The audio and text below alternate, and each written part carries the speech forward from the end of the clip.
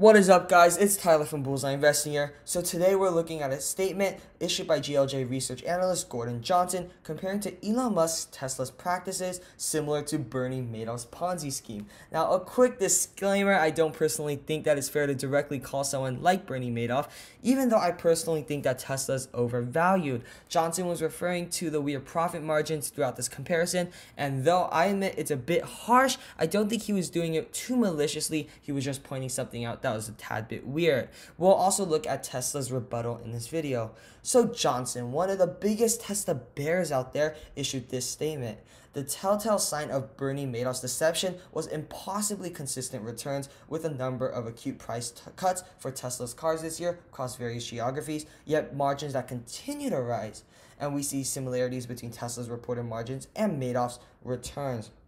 So, of course, we know what he's referring to here. He's referring to Bernie Madoff's Ponzi schemes, one of the biggest Ponzi schemes of all time. And this is his main logic, okay? He's arguing that as Tesla decreases the price on their cars, this should increase the orders. This makes sense, of course.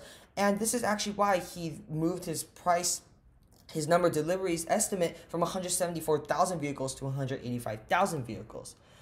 But as the there's a decrease in price, there's price cuts. He says that there should be a decrease in profit margins. This also makes sense, but Tesla sums it up that there's decreased costs, which is why profit margins are able to stay high even as they're doing price cuts, which increase demand. So let's look at their logic. They said they say that they're making more cars in China, which decrease their cost because it's cheaper to make cars in China, and they're moving more and more car manufacturing into their lower cost factory in China. But they're also saying, according to CFO Zachary Kirkhorn, that they're seeing benefits from the continuing upward trend of locally built and delivered cars, which has increased from under 50% at the beginning of last year to over 70% more recently. So, of course, it's more effective to have locally built cars, and that also is helping to reduce costs.